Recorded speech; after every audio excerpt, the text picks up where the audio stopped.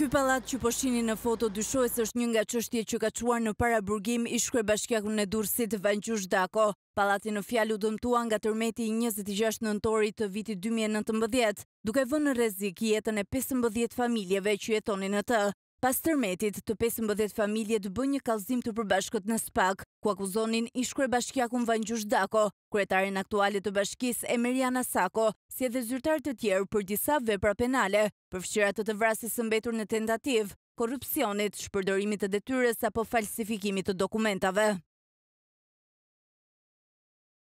Konkretisht, pallati në fjalë ka marrë leje ndërtimi në vitin dy mijë e nëntë dhe ishte planifikuar të ndërtohej me pesë kate, por më pas ai ka përfunduar me disa kate më shumë se projekti. Për këtë gjë banorët kanë ngritur dyshime se nëpërmjet korrupsionit dhe falsifikimit të dokumentave, ish-kryebashkiaku Vangjush Dako dhe zyrtarët e tjerë të vënë në pranga, kanë lejuar ndërtimin e kateve shtesë në këtë pallat, duke sjellë edhe dëmtimet e mëdha në tërmetin e njëzet e gjashtë nëntorit të vitit dy mijë e nëntëmbëdhjetë.